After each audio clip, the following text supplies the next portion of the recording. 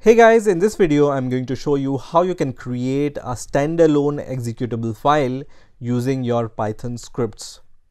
So let's say I have a project and it contains uh, some Python scripts or a Python script and let's say I want to convert this uh, test.py into an executable file.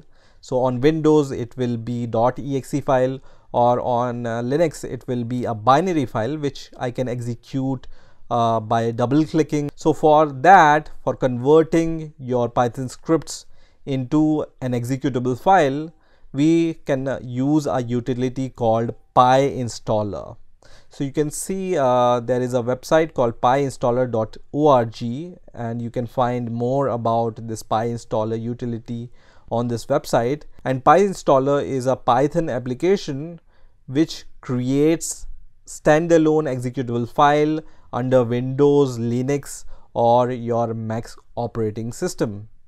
So for using PyInstaller, you need to have pip installed on your operating system.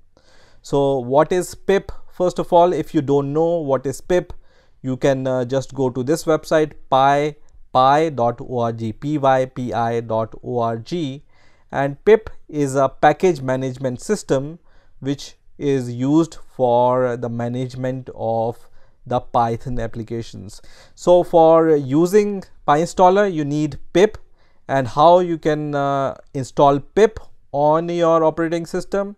You just need to install python on your operating system pip will be automatically installed with the installation of python so you don't need any extra step to install this pip uh, on your operating system. So if the Python is installed, the latest version, then pip is going to work. I have already created a video about how to install Python on your uh, Windows operating system, let's say. So I will uh, just put the link in the description so you can see that video and move ahead.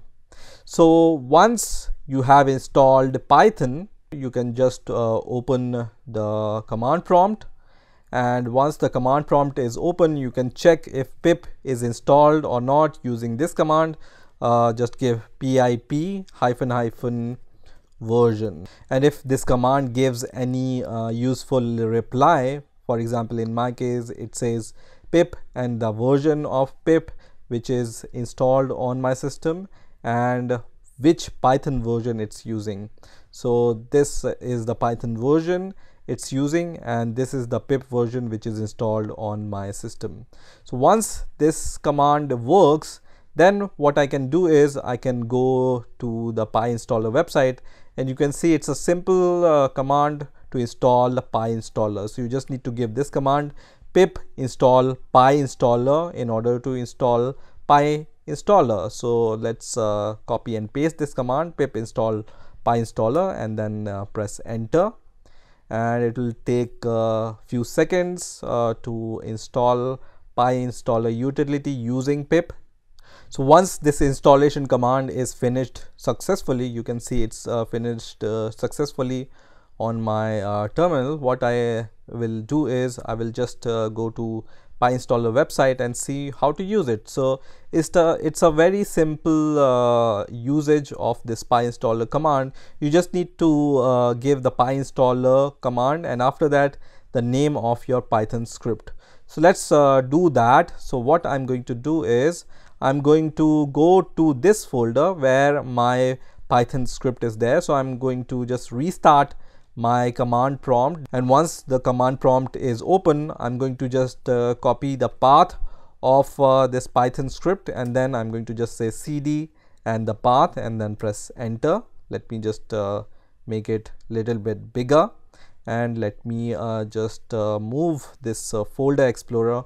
So in order to convert this test.py script into the executable file you just need to give this command pyinstaller space the name of your uh, Python script which is test.py in my case and then press enter.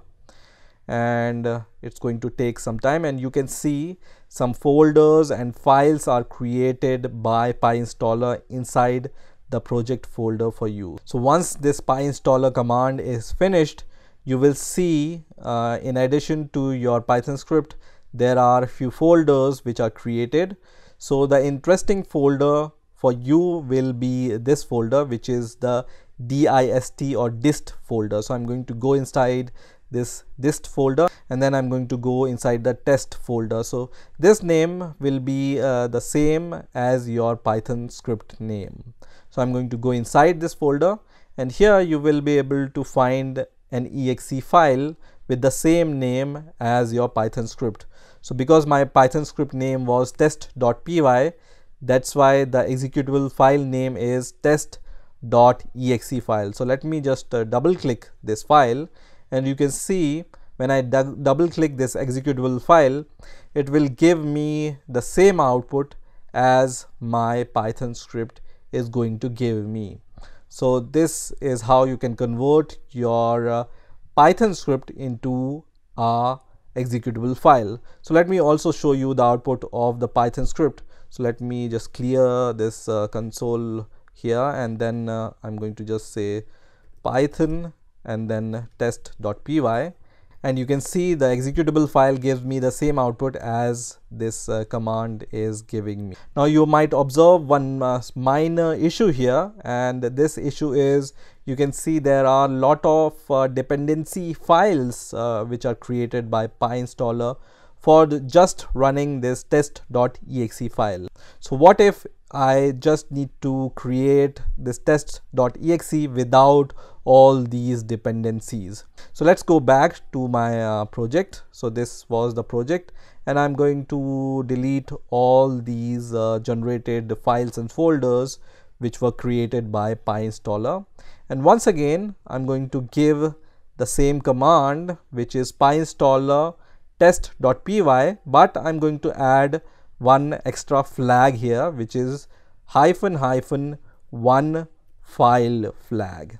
So what this uh, flag will do is it's going to just create one exe file without the dependency files. So let me just give this command and let's see what happens when I uh, give this PyInstaller command with one file flag. So now you can see all these folders are recreated but when I go to the dist folder here you can see this time only test.exe file is created without uh, any extra dependency right so all the dependencies will be uh, bundled with this exe file and only one file will be created and this is much better than uh, creating all the dependencies and uh, just uh, transferring all the dependencies to your client or anyone. So let me just double click this also and uh, you will see it's going to give you the same result.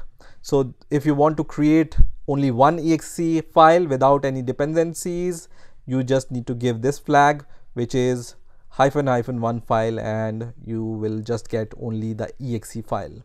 Once again, let me uh, just give the cls command to clear the terminal. Now I have uh, one more uh, example for you. So let me uh, show you the second example and let me go inside this uh, folder which is tkint project and let me uh, just run this project. So I'm going to just go back one folder and then I'm going to cd into the kint underscore project and let me just run this Python script real quick. And this is the output of uh, this uh, python script. So this is a window which i want to open. And i want to convert this uh, python script into an executable file. So this uh, python script uses uh, Tkinter for uh, creating this window. So there are some dependencies which you need to import inside your python script. Now in order to convert this into an executable file you might already uh, know the answer how to convert it. You just need to give this command pyinstaller space hyphen hyphen one file and the name of your script which is going to uh, create an executable file using this uh, python script. And once again when i go inside this uh, dist folder you can see this main underscore window.exe file is created. And when i double click on this window then there is a terminal which is opened first and then after few seconds your real application will start. so now the real application which is this Tkinter window is started now so you can see a little problem here which is this terminal window always opens before opening your real application which is this window so how uh, can I uh, just remove this terminal and I just want to open this registration form without this terminal. So there is one more flag which you need to add in order to achieve this. So I'm going to just uh, close uh, these two uh, windows and terminal and for now let me just uh, remove all these directories. So delete and let me just clear the terminal and in addition to your uh, hyphen hyphen one file uh, flag what you need to do is you just need to give one more flag which is hyphen w okay so pyinstaller hyphen hyphen one file space hyphen w and then your script name and then i'm going to just uh, press enter which is once again going to create these directories. So once this command is finished, I'm going to go once again to the dist folder and run my main underscore windows.exe file.